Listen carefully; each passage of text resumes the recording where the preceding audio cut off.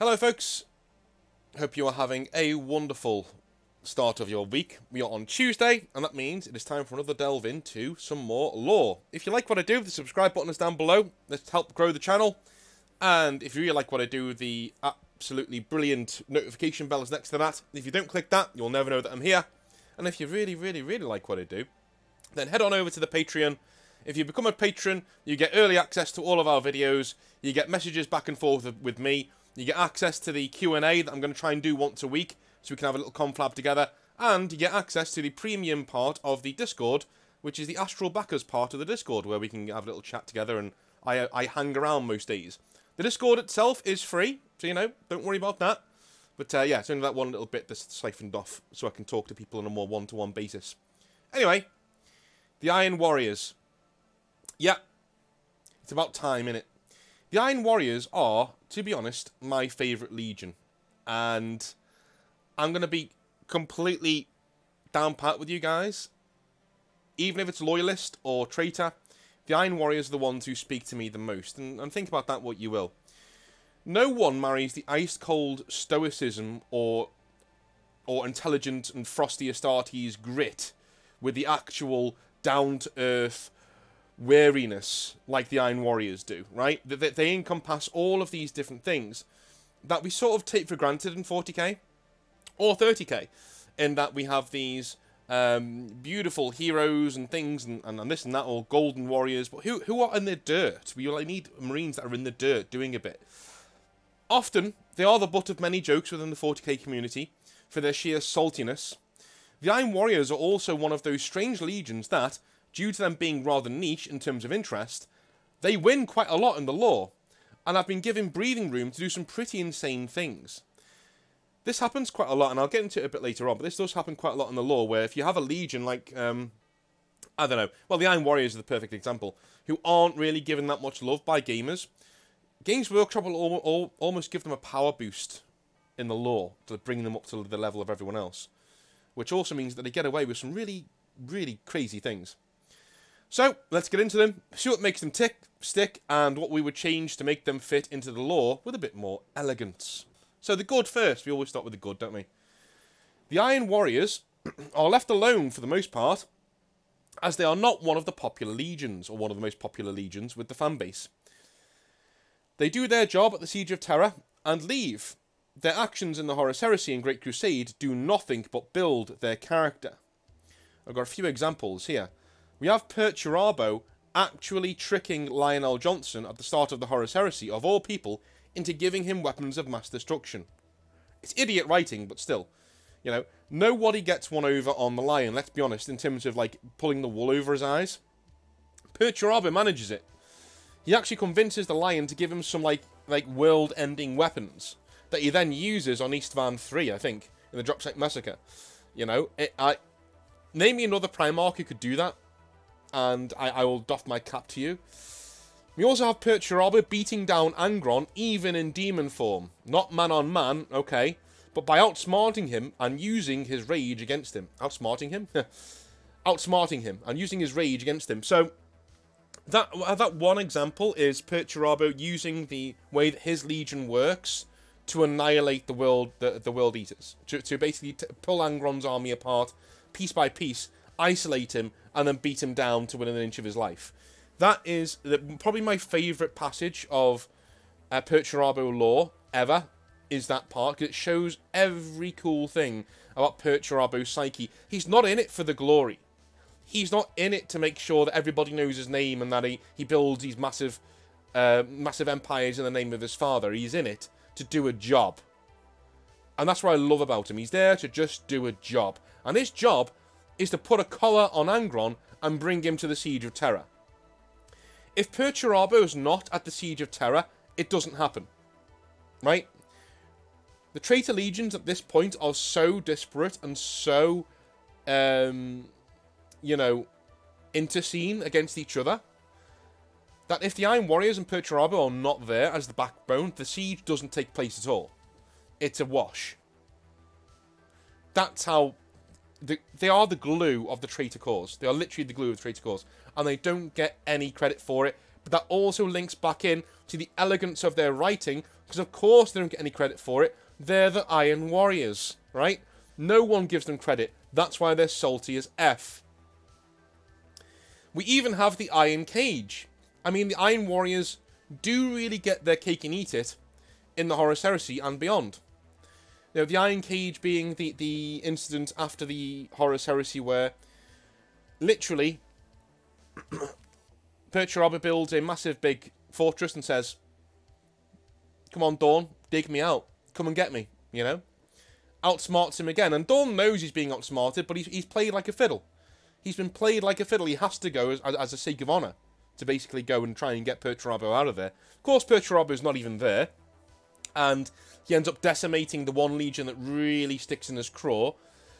He gets everything that he ever wanted, and he does it underneath the radar. He does it so much that nobody really picks up on this.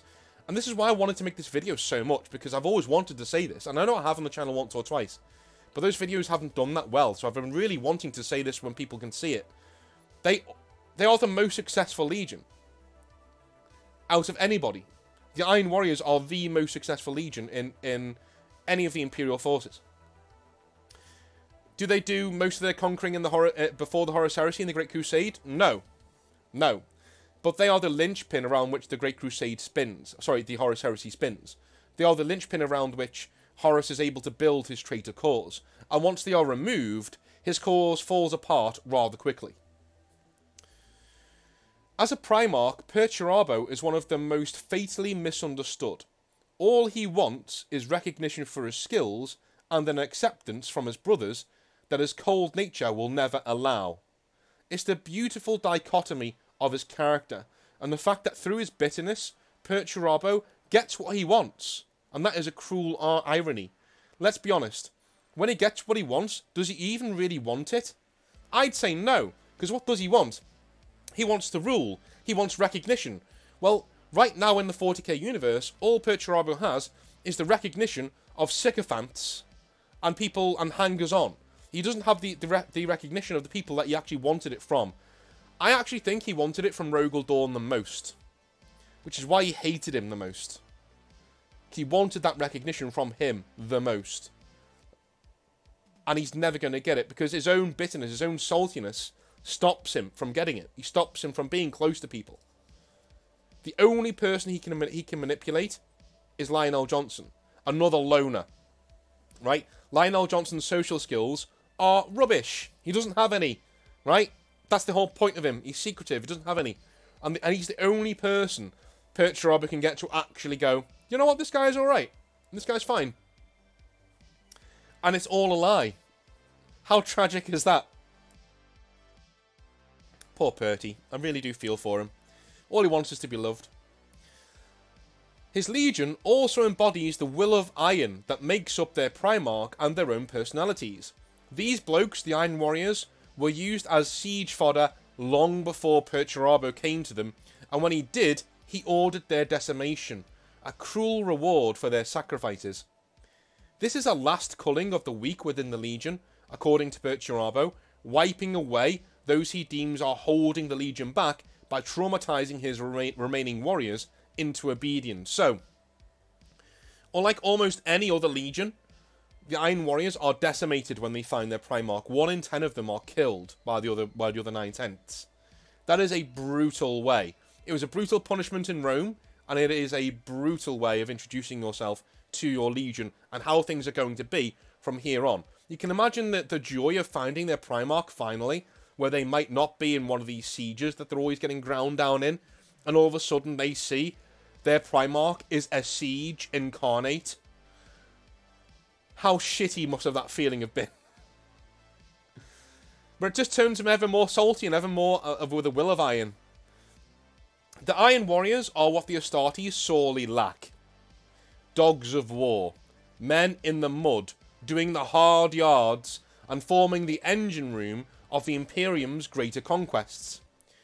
If you look just below the Lion, Sanguinius and others that are standing on their in their heroic poses, they're doing it on the backs and sacrifices of men like the Iron Warriors, which is why I like them so much. Their scientific expertise is a wonderful nod to their cold nature. The Iron Warriors are not duelists. They are not even warriors, really. They are war artisans. They pick the weakest mathematical point in an enemy wall and hit it with every body, bullet, and shell they have until they're through. This is what makes them of such high appeal to scientists of all shapes and sizes in real life. I know several scientists who love the Iron Warriors and play Iron Warriors. To the, disenf- to the disenfranchised and often overlooked, and to wargamers in general. Okay? Nobody really plays the Iron Warriors, everybody likes the Iron Warriors. That is a big point. Even I don't play the Iron Warriors, but they're my favourite Legion. I play Word Bearers in terms of our Legion, right? But I like the Iron Warriors more. That's right. Perturabo and the Iron Warriors in general play Warhammer together. Read up on it if you don't believe me. They also they move electronic pieces around a board representing the legions and how they would defeat them in battle. If that's not wargaming and Warhammer, I don't know what is. This is also a real commentary from Games Workshop towards their audience and what they look like to them. Which is kind of like how Clark Kent sees humanity. So, let me just get into that segue for a minute here. Out of Superman and Clark Kent, which one do you think is the costume. Well, obviously you're going to say Clark Kent because you're trying to be clever, but most people would say Superman, right? Most people would say Clark Kent is the real person and Superman is the costume. Well, that's not true, right? Superman is Superman. His costume is Clark Kent. He tries to blend into humanity. So how does Clark Kent act? How does his alter ego act? He's cowardly, he's snivelling, he doesn't have a backbone, right? He's a nerd. That's quite a put down, isn't it? When you see how how, how Superman truly sees humanity. I think that's quite quite a dark thought. Well, it's the same for the Iron Warriors. If you want to know what Games Workshop think of wargamers in general, just read Iron Warriors lore. You'll know. You'll know. That and the Red Scorpions. Iron Warriors and Red Scorpions are the two that are basically the uh, the yin and yang of wargamers. Well, not the, not the yin and yang. They're both the dark side of wargamers. They, they take the two really bad parts of wargaming, like you know the saltiness, the the almost arrogance for being good at a game that no one cares about, right? Wanting recognition and and and, and love from people, but being too salty and angry to actually get it. If that's not a wargamer, that, that, I mean, that is, isn't it? Let's be honest, we're all wargamers here. We've all felt that way. Let's admit to it. The Iron Warriors are a very, very, very good mirror to hold up to wargaming in general. As are the Red Scorpions. The Red Scorpions, if you do not know, are the Forge World only chapter. And so they're, they're for Forge World only people. And what are the characteristics of the Red Scorpions? They're obsessed with purity. They're obsessed with having the best stuff. They're really arrogant because they have all of the best stuff and the richest war gear that nobody else can seemingly afford is this not hitting any vibes with Forge World people to you? Right?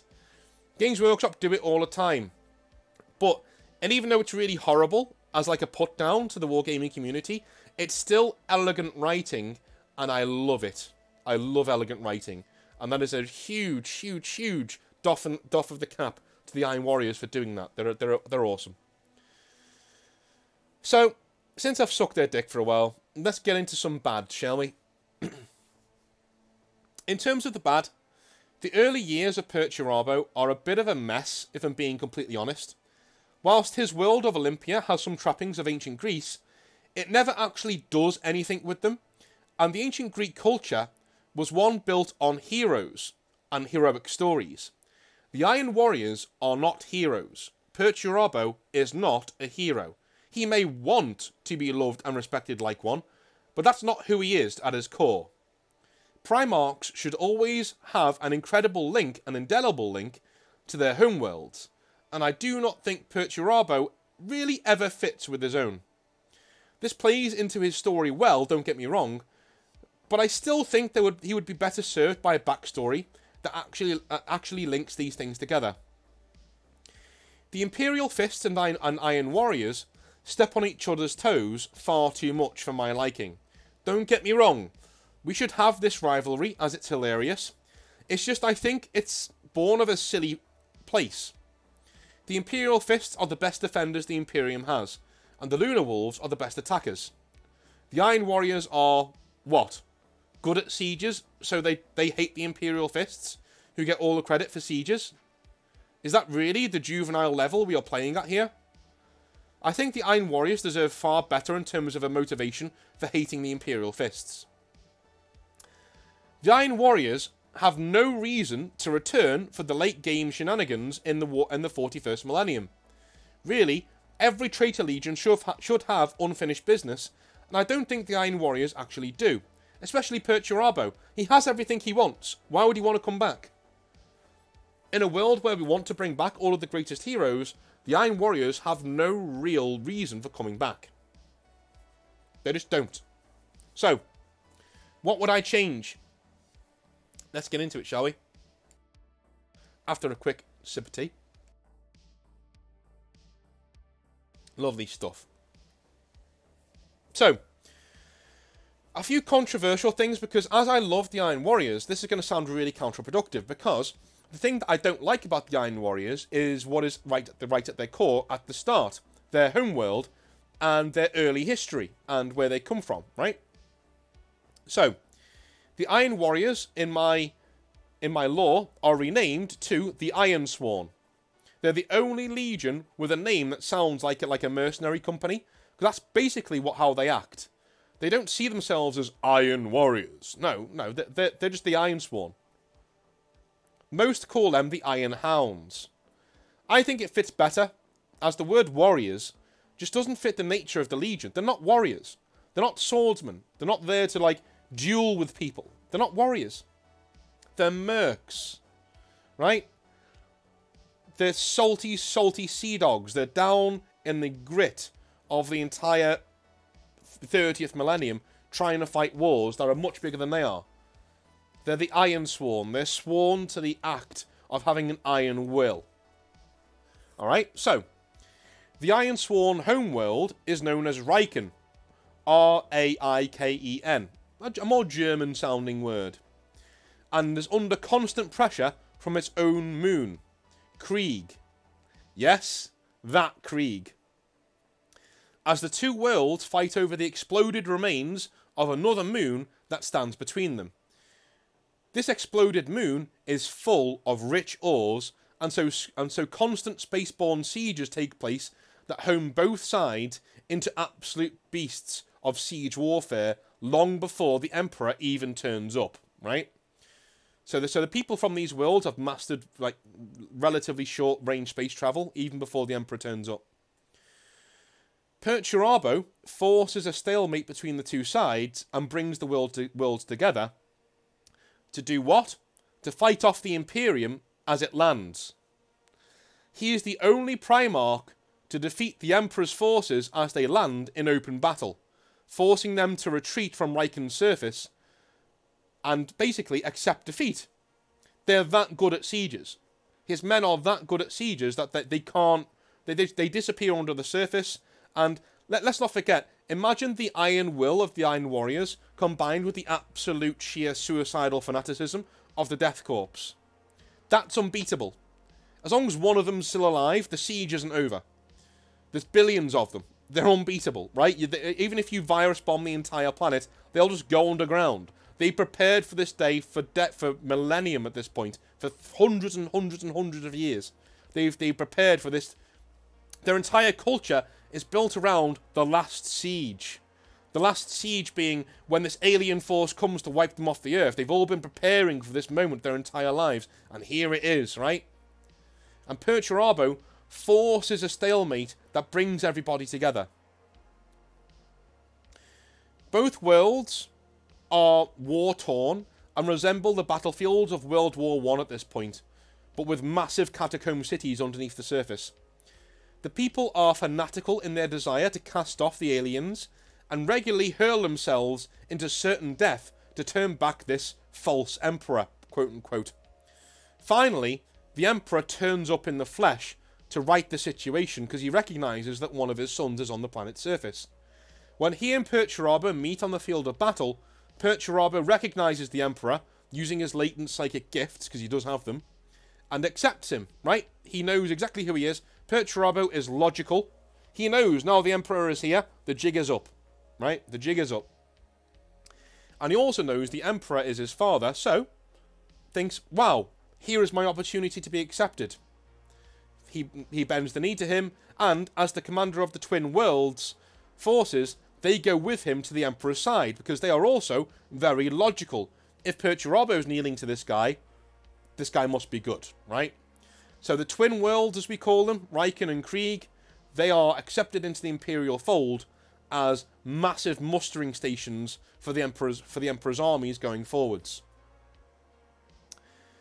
The rest of the Horus Heresy plays out like it does in real life. The Iron Sworn are not appreciated, they are used to crack open the deadliest and nastiest of sieges. The planetary defence force of the Twin Worlds is organised into something called the Death Corps. Yep, that's them. A fanatical unit of humans who do not make the grade to become Iron Sworn. Slowly, a rivalry starts to develop between the, the Iron Sworn and Death Corps. I bet you see where this is going. Iron Sworn, in this setting, are the best in the Imperium for attacking strongholds.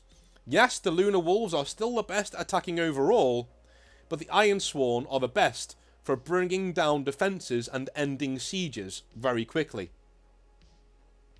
The cost to their legion, though, is massive when they do this.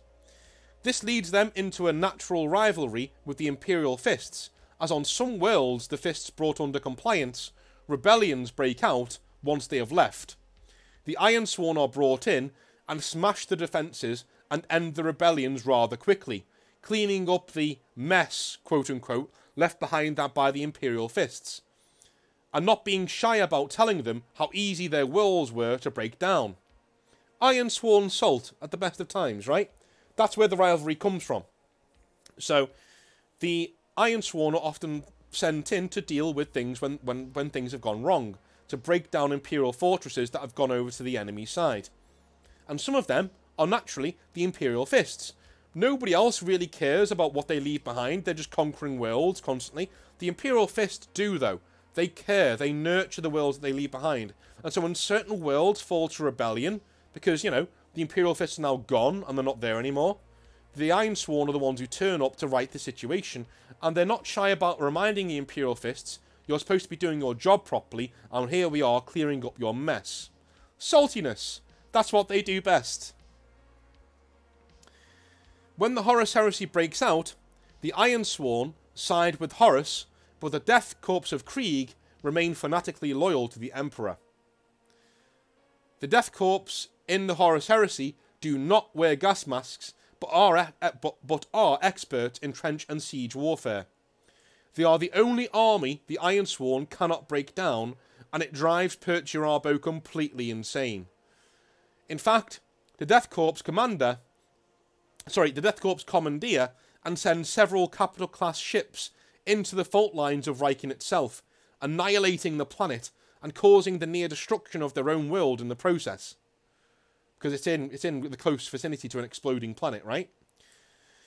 In anger at their insolence, and after two years of constant fighting, Perturabo nukes Krieg before leaving for other battlefields.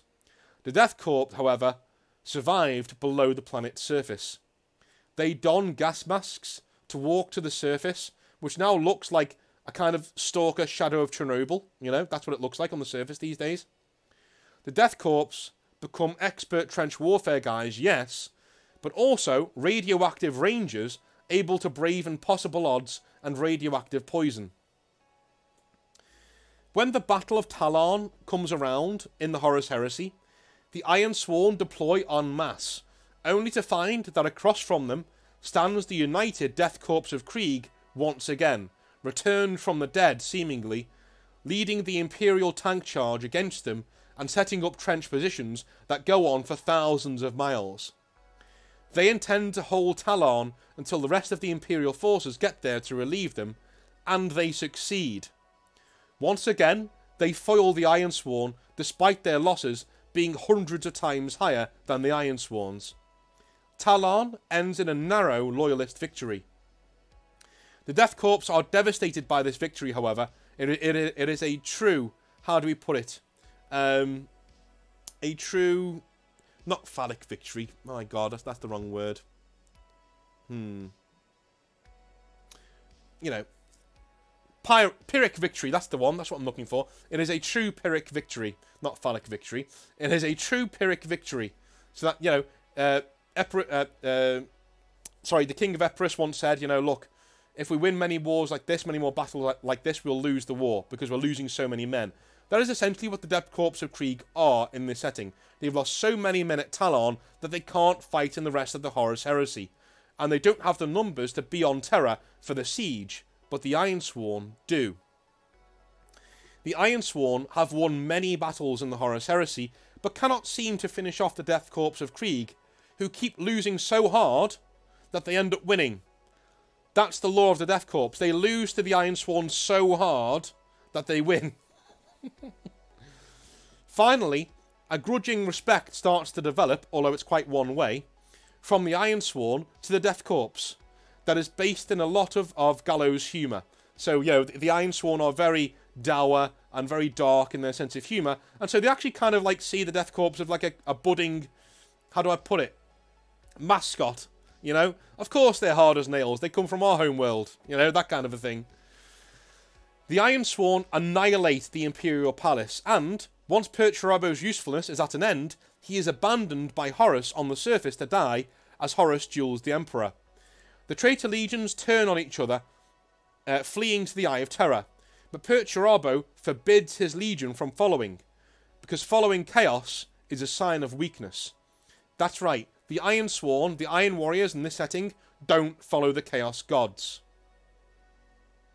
Instead, he moves throughout the galaxy, annihilating forces on both sides, Imperial and even Chaos should they cross him. As he seeks to gain the power to build his own empire that will truly eclipse his father, so now is the time he wants to build his empire to eclipse what's come before, because he thinks that's the way he's going to get acceptance. And in the end, he does so, far off into the unknown stars of the northern quadrants of the galaxy. There, he raids Xenos technology and begins being a, being a constant menace for the dark for the Blood Angels and Space Wolves in that region of space. When Abaddon invades, sometimes Perturabo aids him, sometimes he stands against him, depending on, on, on, on his whim and his needs. Finally, the Ironsworn are loyal to nobody but themselves, but one day they will have a reckoning, reckoning with their brothers both mortal and otherwise, and gain the last laugh, the last laugh on their worth. So, that is what I would do with the Iron Warriors in the current setting of Warhammer 40k. They are still salty, they are still angry, they are still really beyond good at sieges and breaking people down. The Iron Cage still happens, right? All those things still happen. Most of the lore that we see in Warhammer still happens, because I love it so much. We just change the origin of the Iron Warriors. We change their name, we change what their what their culture is all about. We take away the ancient Greek trappings because they don't really need them, and we mold them into this cold ass scientific mercenary force. They would basically be what the Red Corsairs try to try to be, right? That they would be what, what the Red Corsairs attempt to be. That's I would have the Iron Warriors anyway. What do you guys think? Do you think I've gone too far? Do you think the Iron Warriors are fine as they are? I wouldn't mind you if you did. Let me know what you think in the comment section down below. I love you long time. I will see you tomorrow on Wednesday for some more Hobby Nightmares. I will see you then. Have a wonderful rest of your day. See you later. Bye.